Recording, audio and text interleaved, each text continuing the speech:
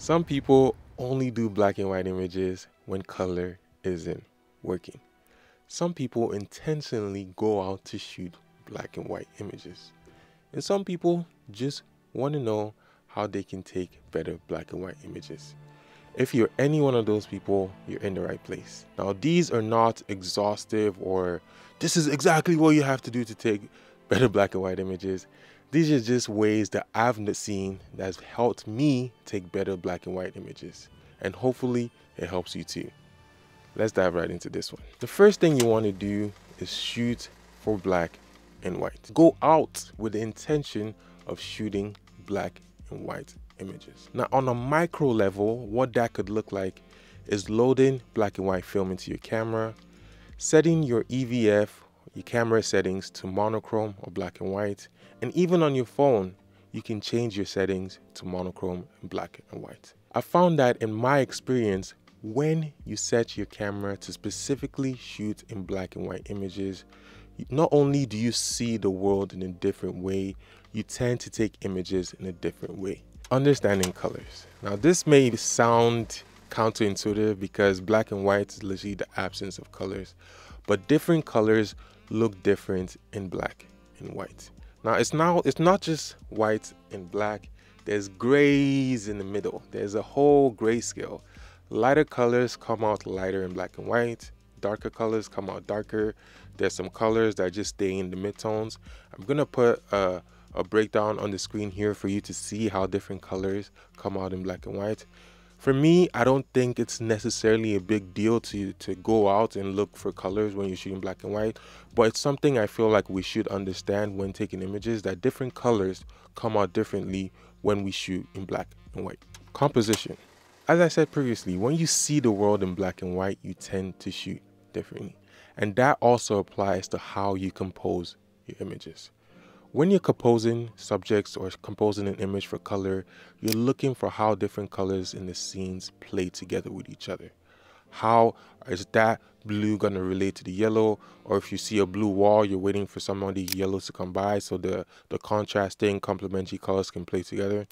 But the absence of that in black and white just makes you compose your images differently. You're not looking for how different colors play together. You're only looking for the composition of different things, different pieces within the image.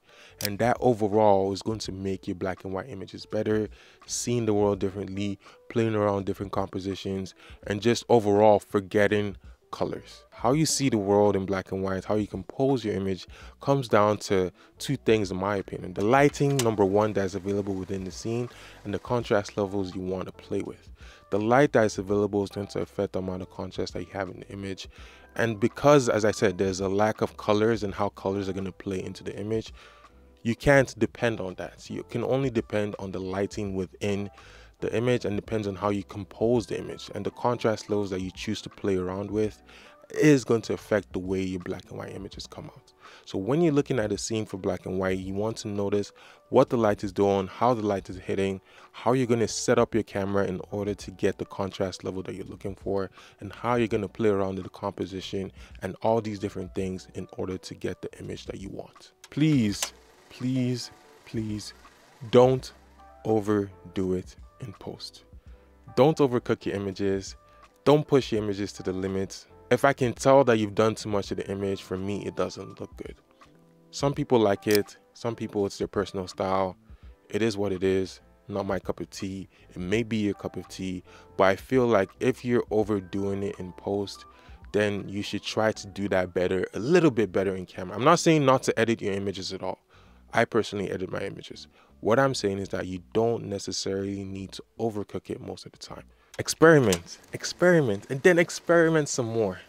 Black and white images are made for experimentation. When I say experimentation, you can use filters, red, orange, blue, yellow, different filters play around with the images and they do different things to different colors within the images in black and white and they give you different looks shoot different types of films. Shoot infrared film. Infrared film does something to the image that I don't quite understand. There's infrared filters that you can put on your digital lenses to get different looks. Play around with it. Play around with shutter speed. See how different slow shutters affect the black and white images. Play around with textures. Play around with flash, play around with different things. Black and white has been around for so long. There's so many different things that you can do with black and white images that you can't necessarily do with color. And that brings me into my last point, which is to have fun with it. As I said, black and white images have been around for hundreds of years. In fact, the, the original images were all black and white. There's so many things you can do with black and white. There's so much fun you can have with black and white. Even printing. When it comes to printing, there's so much you can do with your black and white. Do you, do you print your images? You should print your images, especially black and white. If you print your black and white images, they look amazing if you have the right printer. But again, have fun with it. Take everything I've said into consideration. Take it with a grain of salt if you must. But just shoot black and white. And that's mostly because at the root of it all, black and white is better than color. There, I said it. You were thinking it, I was thinking it. I just have to say it out loud. Black and white is better than color.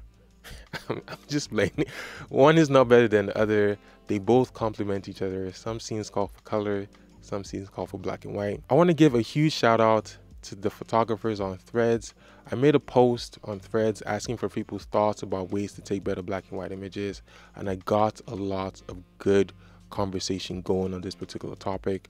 I'll put a link in the description uh, right under the like button for you to check out that particular post and see what other photographers had to say on the topic and maybe even add your own thoughts to the particular issue. And while you're down there, make sure to leave a comment. Let me know if you like these type of videos. Let me know some different ways where you think people can do to take better black and white images. Until next time, make sure you stay safe. Make sure you shoot some black and white. And I'll catch you in the next one. Bye.